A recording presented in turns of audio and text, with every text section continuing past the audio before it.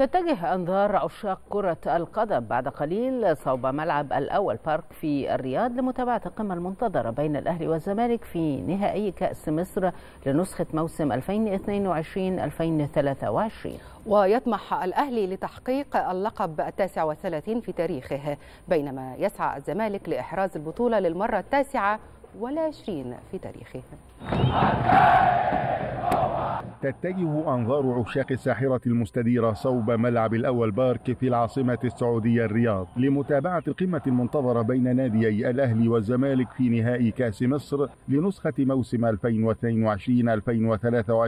التي ستشهد صراعا جديدا بين القطبين على لقب البطولة الأعرق في مصر في نسختها الحادية والتسعين.